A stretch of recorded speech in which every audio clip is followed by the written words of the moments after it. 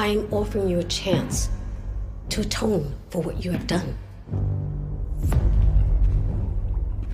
To help bring down the single greatest threat to New Orleans. I can't do this. There are memories that I just can't bear. Who do you think you're talking to? Have I given you the Why do I keep seeing you around my hotel? What do you want with my family? You just keep doing everything I tell you to do. And you will be just fine.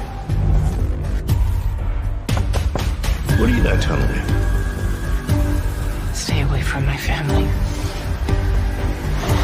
The Baxters hunt you down.